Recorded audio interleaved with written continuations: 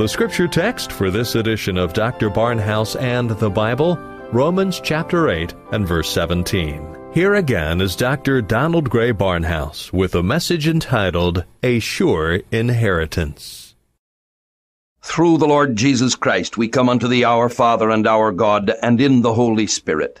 We thank thee for overflowing grace that has come to us in spite of our sinfulness, and only because thou art the God of all grace. We worship thee and glory in the fact that thou art the God of love and mercy and compassion toward those who come to the cross of Jesus Christ. Speak to each listening heart in this hour to bring salvation and growth. We ask it in the name and for the sake of our Lord Jesus Christ. Amen. We now study Romans 8 verse 17, the phrase, and if children, then heirs, heirs of God and joint heirs with Christ. Now, man's laws do not always conform to God's laws. Man may be actuated by pride, selfishness, or any one of a hundred other carnal reasons. But God always moves according to His holiness and His righteousness. If we have become His children, we are then His heirs. There is no possible chance of a child of God being disinherited. Any thought of such a thing will be dissipated when we come to the study of the inner meaning of the last half of this verse with its restriction. There is no possible grounds upon which a child of God can be disinherited by the Father. The whole doctrine of justification has been presented in earlier chapters of this epistle, and to introduce the idea of disinheritance at this point would be to nullify everything that has gone before and make the interpretation of the Word of God a patchwork thing, dictated by human logic instead of by the teaching of the Holy Spirit. You may be sure that if you ever find a contradiction in the Word of God, you have a false interpretation. And one of the primary laws of biblical interpretation is that you must never use a single, obscure passage to contradict a great line of doctrine that is substantiated by long and solid paragraphs of definite teaching. The reasoning that is set forth here is purely divine. If children, then heirs. Now there are two parts of the phrase, two nouns, children and heirs. There is an if associated with the first of these words, but there is no if attached to the second word. He must set forth the doubt in connection with sonship because there are some of his creatures, as we have seen, who are not his children. But if once a child of Adam has been joined to Jesus Christ, he has been born of the Spirit into the family of God. He has received the Spirit of adoption, by which he cries, Abba, Father. Rainsford has written a beautiful paragraph on this relationship. See the title, certainty, character, inalienable nature as well as the evidence and condition of our divine sonship and inheritance as set before us in this beautiful passage. If children. The beloved disciple divides the children into babes, young men, and fathers. But they are all equally dear children. Whatever be their spiritual age, or the amount of their growth and development attained to in the Christian life, whether they be babes, or young men, or fathers. They are equally the dear children of God. Their title is Christ's own title. Their inheritance is Christ's own inheritance. Their security is Christ's own security. They have their title, inheritance, and security not only in Him, but with Him forever. Ye are all the children of God by faith in Christ Jesus. Our childhood has its birth and being in receiving Christ by faith, believing on Christ, trusting in Christ. Our privilege and high calling is to abide in Christ. He never ceases to be the shelter for his children. Our strength and fullness is in union with him, our glorious prerogative to be inhabited by his Spirit, and our blessing to be led by that Spirit, and be taught of God, till we all come in the unity of the faith and of the knowledge of God unto a perfect man, unto the measure of the stature of the fullness of Christ. If children, none are children by nature, it is all by grace. None are children by deserving it, and none are children by the will of the flesh. We are born not of blood, nor of the will of the flesh, nor of the will of man, but of God. If we trace this divine relationship to its source, we shall find it to be the fruit of God's electing love. Behold what manner of love the Father hath bestowed upon us, that we should be called the sons of God. It is the fruit of his predestinating grace. So we read, having predestinated us unto the adoption of children by Jesus Christ unto himself, according to the good pleasure of his will, to the praise of the glory of his grace, wherein he hath made us accepted in the beloved. And all the glory that follows flows from that divine, everlasting, and most gracious planning. If then we are children, it is by divine adoption, and glory be to God, we inherit not only the privilege of the adopted child, but the nature of the adopting father. For it is written, Of his own will begat he us, with the word of truth, that we should be a kind of first fruits of his creation, made partakers of the divine nature as well as adopted into the divine family, united to the firstborn, received into communion by the indwelling of his Holy Spirit. We are to be for an habitation for God through the Spirit. One of the hardest lessons for man to learn is that everything that God does for us is by grace. Man is so eager to have some credit for his blessings that it is difficult to take the place of utter bankruptcy that is necessary in our attitude toward God. This is all the more true because of the teaching of some who make salvation conditional on something that man does, even if it is nothing more than uh, accepting. If you will search your own heart, most of you will find a trace of that legalistic spirit. Man cannot understand that God, in his sovereign love, stoops over a lost race, dead in trespasses and sins, totally responsible, yet totally incapable of doing anything about it, and that he decides to quicken some of his creatures and make them sons. If it be asked why he does not quicken all, we reply that the Bible does not give any answer to this question, and that we are left to trust him who does all things well, and who never makes any mistakes. The facts are there. Men fight these facts, but they cannot change them. There is nothing good in any of us that could recommend us to God. Well, then, if he makes a division in the human race, he must do it on some principle that is to be found in himself. It surely is not whim, even though it may appear thus to unholy minds incapable of receiving spiritual things.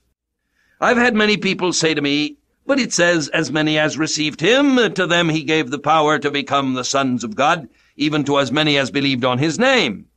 And to this I inevitably reply that while they have quoted John 1.12, the next verse, John 1.13, distinctly denies the implications they are attempting to draw from this text. Why should one verse be made to contradict the next one, simply to satisfy the desire of the human heart, to enter in on some of the credit for our salvation? We were born not of blood, nor of the will of the flesh, nor of the will of man, but of God. The first act of our being born of God is that we turn back toward Him with the new uh, receiver that has just been planted in us supernaturally and with that divinely given ability that we did not before possess, we receive Him. It is then that He gives us the authority to become His sons. Or to change the figure and the verse, He plants within us a new willer, and we immediately become one of the whosoever wills. I have known people who fight this truth with vehemence, but that does not change the scores of verses which teach this truth. Contrary teaching has been ingrained into them so deeply that they find it hard to credit the sovereign grace to needy sinners, which God has shown in doing everything in behalf of his own. Their predicament is something like that of small children who have been wrongly taught about their own origin and who are suddenly faced with biological truth which is so alien to all of the dream world which they have imagined. I read some time ago in the Reader's Digest the story of a little girl who asked her mother where she had come from. The mother replied that the stork had brought her. And where did you come from, mother? The child continued. Oh, said the mother, I was found in a cabbage patch. And grandmother, the girl asked, questioning further. Oh, grandmother was found in a rose bush.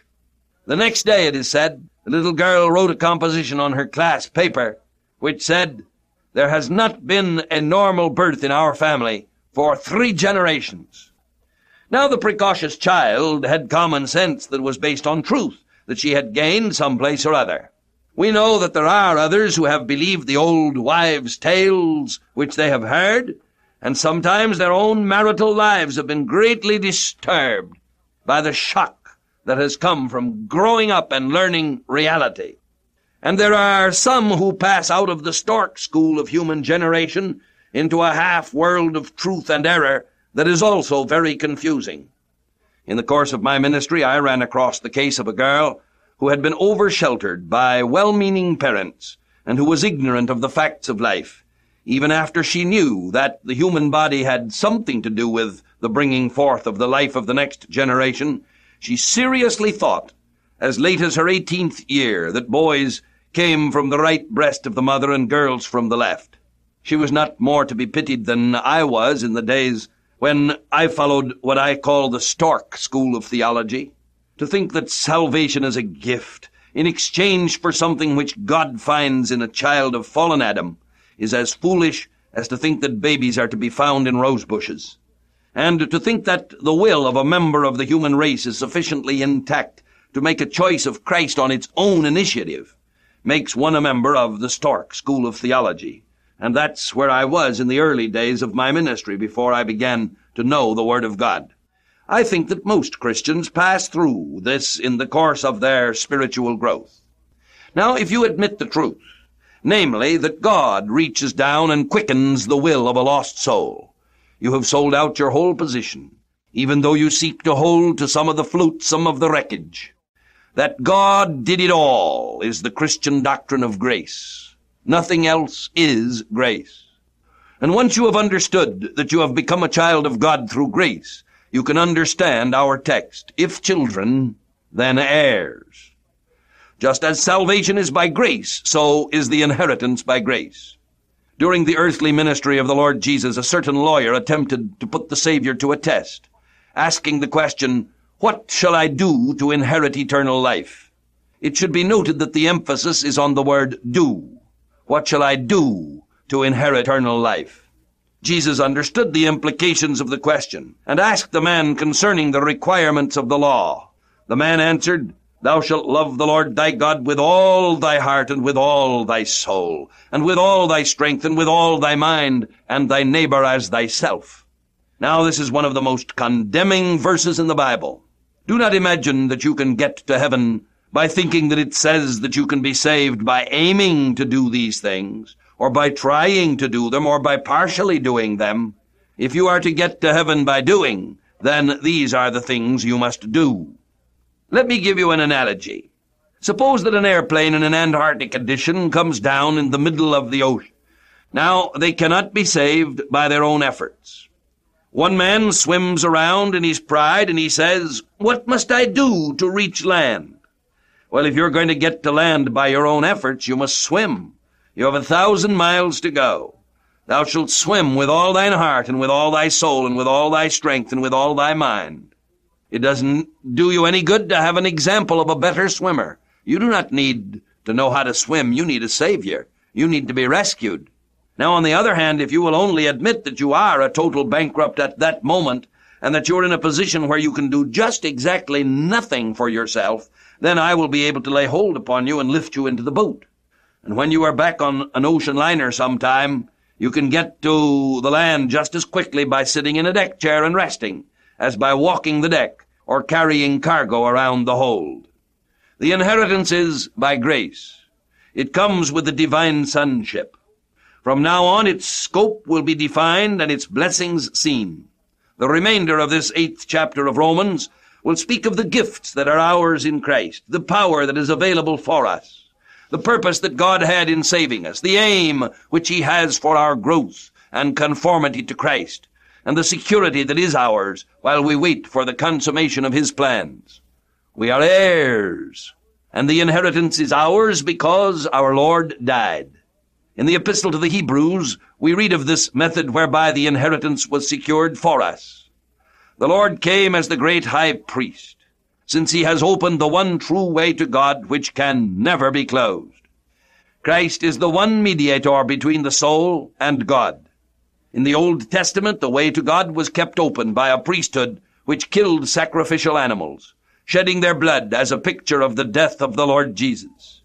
How much more, we read in Hebrews 9, how much more than these animal sacrifices shall the blood of Christ, who through the eternal Spirit offered himself without spot to God.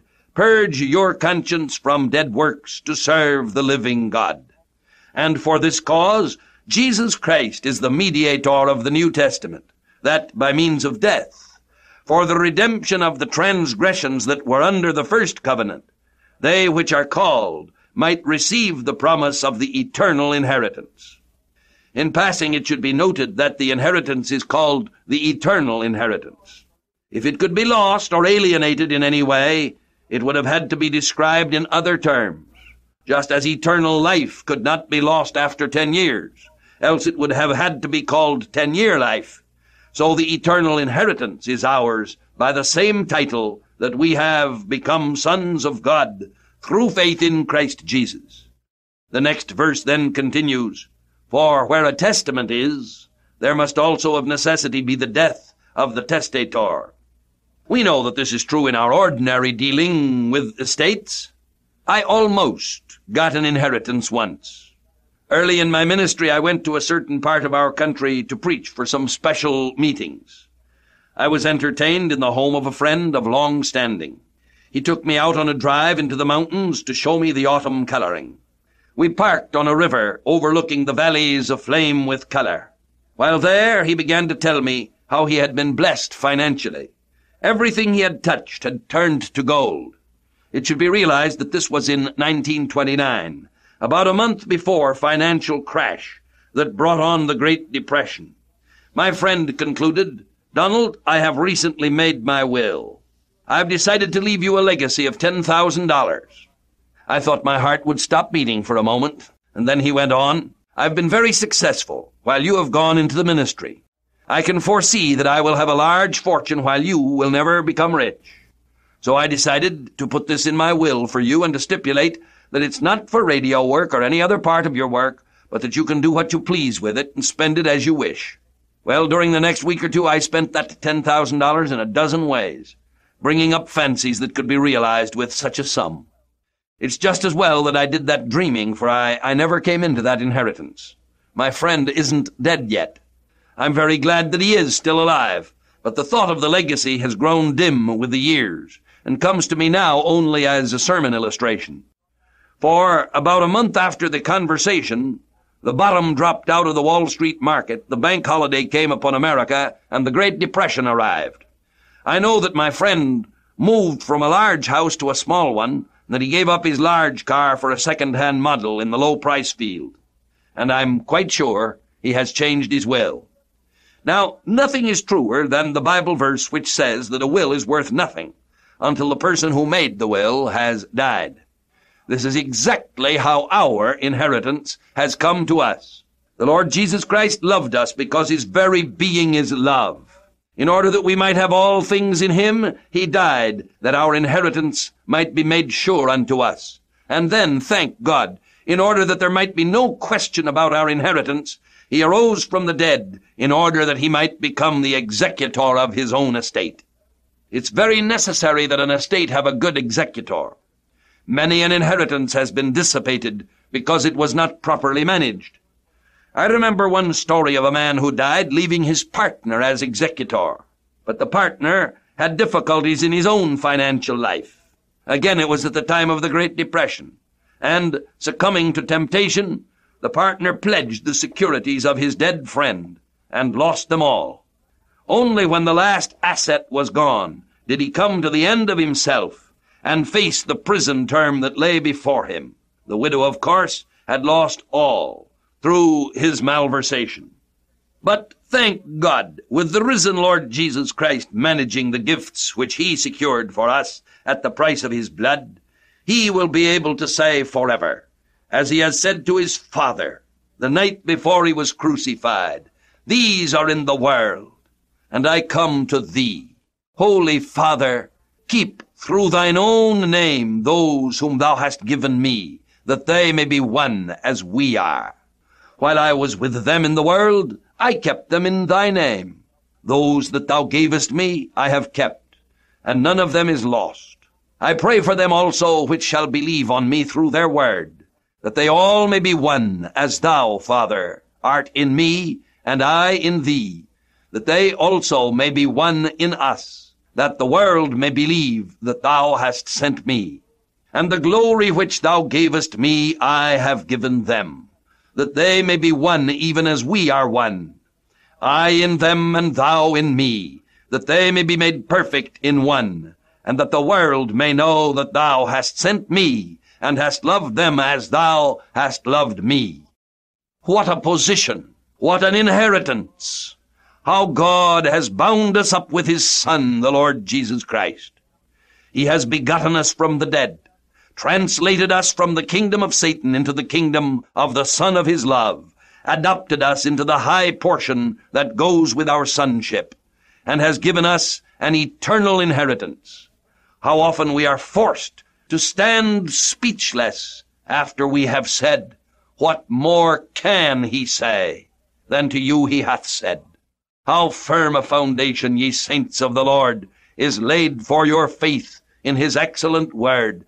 What more can he say than to you he hath said? If children, then heirs.